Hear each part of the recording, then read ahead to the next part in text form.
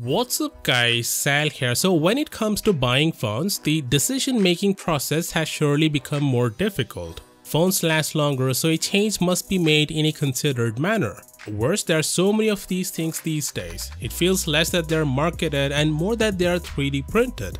It's especially true for Samsung. I mean, here are all the Galaxy phones you can buy from Samsung. The Galaxy S21, S21 Plus, S21 Ultra, S20, S20 Plus, S20 Ultra, S20 FE, Note 20, Note 20 Ultra, Galaxy Z Fold 2, Z Flip, Note 10, Note 10 Plus, Note 10 Lite, S10 Lite, S10, S10e, S10 Plus. But wait, there's also the Galaxy A series, which is a mid-range version of the S series and tends to get features from the flagship line about a year later. Not only that, there's also the Galaxy M series, F series, their rugged phones, not to mention the special Galaxy W series. There are too many phones Samsung launches in a particular year, which makes you wonder why?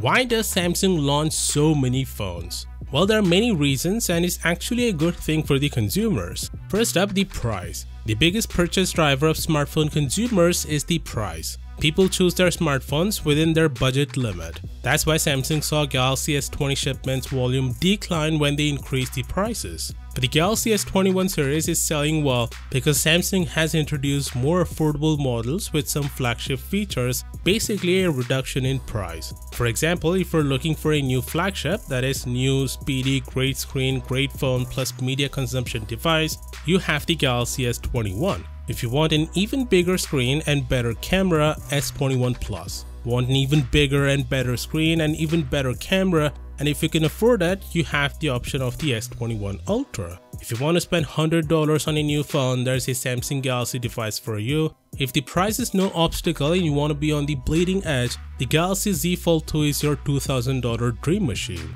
Basically, different phone models have totally different specifications. They do this to target different brackets of customers. Each phone model has its ups and downs and they have a variety of price ranges. Customers who have a certain budget can pick a phone model belonging to that particular price margin and be satisfied with the product. So basically to increase the number of customers, not only Samsung but many other phone companies release a variety of phone models. Having a lot of choices is a good thing, just means anyone can find what fits their needs. Also, this strategy helps them sell more devices. Initially, Samsung would release the flagship models with two versions, with the main difference being screen size. But Chinese companies like Huawei then began growing market share rapidly and their flagship lines would include the standard version, a large screen version, and a light version with fewer features. Samsung resisted the trend towards lower cost flagships at first, but the pressure from Chinese manufacturers grew.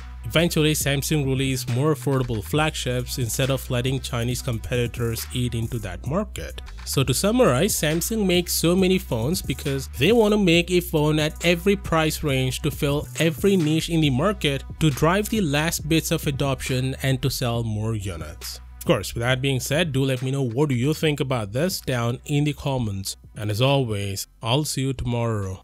Peace out.